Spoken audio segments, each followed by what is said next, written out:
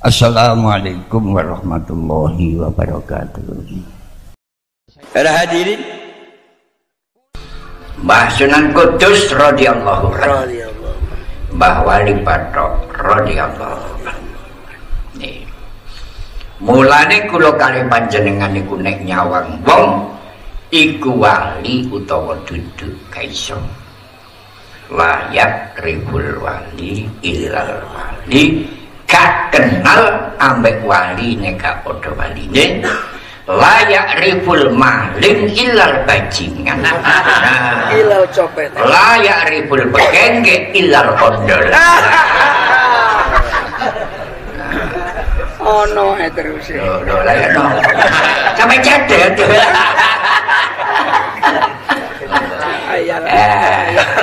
Allahumma salli ala Muhammad. Dadi mulane kula kali jenengan aja gampang-gampang ngarani iku wali. Eh, lek duduk malaikat ilok. Iku duduk wali, nek wali jenengan malih jerong-prong wong. Dimulane layak ribul wali ilal wali. Jaman sak monten enten wali loro sing siji niku Mbah Jafar Sotik nggih Mbah Sunan Kudus sing siji niku Mbah Wali Patrok Mbah Jafar Sotik niku wih soki nilwa par biasa ngoten asline kok dadi wong sugih sing luar biasa.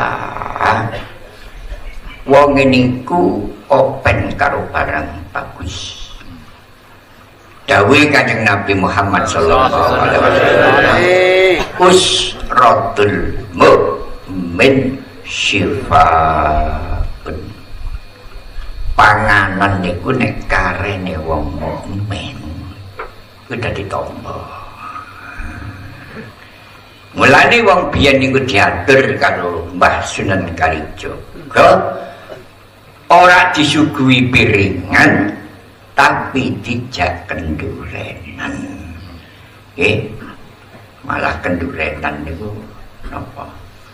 Ana sing diarani tumpeng. Ana kapan iku metu mesti mempeng. Atine muni aja sampai kakumanan eh nggih bareng kaya ngoten Mbak Sunan Kudus niki nang sugiye kaya ngoten. Kapan ana wong mari kenduren kok nyingkre karene niku diglumbukaken ngoten lho. Dibuntel diadai serban ditenggulu digawa mulai eh ora kok ngoten niku. Wong ya apa ngoten mboten? Liwat gawe kanjeng Nabi usratul mukmin syifaun eh kula kali sampeyan kadang-kadang ngoten niku mara ditinggal. Mana nggih cari kensi ketok ino ya iki? Ketok ino. Ketok eh tapi bagus. Kaya ngoten niku kepanggih Mbah Sunan Kalijaga radhiyallahu Gus betul apa gitu mbah. Tiang-tiang kenduren ini sing ditinggal ini kula adai kula betul mantu mbah sunan kali dawuh. Sak tanah juga ono wali juga kaya sampeyan. Saya itu sauki luar biasa. Bareng kaya ngoten ono wali gak duwe apa-apa duwe batok batok niku dilus-lus kari tikir nggih apa maca selawat apa maca la ilaha illallah apa maca ya napa. Saking suwene batok kasap diulis dilus-lus niku. Sampai walus keling-keling napa sing dijaga aku adus nggo masjid nggo jeding. Jedinge iku karo asal usule. Ngoten artine. Jedinge iku apa? Kecampuran barang syubhat apa ora? Ngoten. Paman wako api syubhati wako apil karom. Umpam niku nek sampean nerajang barang syubhat sing jelas iku nerajang barang haram hati-hati. Dadi nek adus yo kali nek ngombe yo kali nang langgar mawon emoh kuatir kecampuran barang syubhat wasane Allah adus kali batok ilang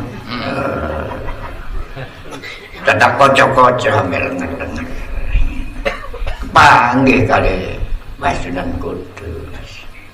Laporan nantiku susah susah apa batokku hilang berarti awakmu itu wong kedunya Lah aku gak apa-apa duwe batok lah iya.